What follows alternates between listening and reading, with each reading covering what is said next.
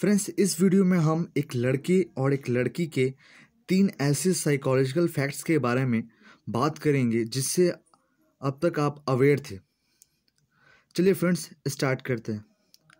Fact number one friends क्या आप जानते हैं, जब कोई एक लड़की एक लड़की ग्रुप एक लड़की के ग्रुप में रहती है ना, वो ज़्यादा हैप्पी फील करती है कंपेयर टू गर्ल्स के ग्रुप में।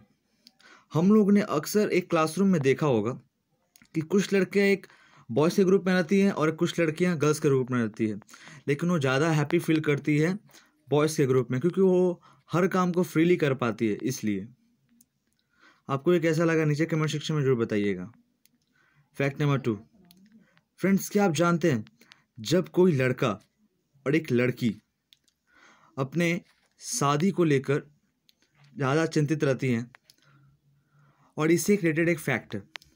फ्रेंड्स क्या आप जानते हैं, जब कोई लड़का लड़की अपने मनपसंद लड़के और लड़की से शादी करते हैं ना तो सेवेंटी परसेंट चांस रहता है कि उन लोग का डाइवोर्स जल्दी हो जाए। भगवान ना करे ऐसा कभी हो, लेकिन ऐसा हो जाता है। ऐसा हम एक स्टडी में पाया गया है। फैक्ट नंबर थ्री फ्रेंड्स क्या आप जानते हैं, जो लड़की शॉर्ट हाइट वाली शॉर्ट हाइट वाली होती है ना, वो ज़्यादा क्यूट होती है। जी हाँ दोस्तों, ज़्यादा क्यूट होती है। फ्रेंड्स अगर आपके क्लासमेट में या फिर आपका कोई दोस्त है तो इसे ये फैक्ट ज़रूर दिखाइएगा।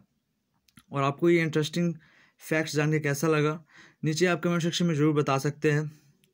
और ऐसे ही साइकोलॉजिकल मोटिवेशन एंड फैक्ट्स के वीडियो के लिए आप हमारे चैनल को सब्सक्राइब कर लीजिए कि आने वाले सबसे वीडियो सबसे पहले वीडियो आप ही को मिले।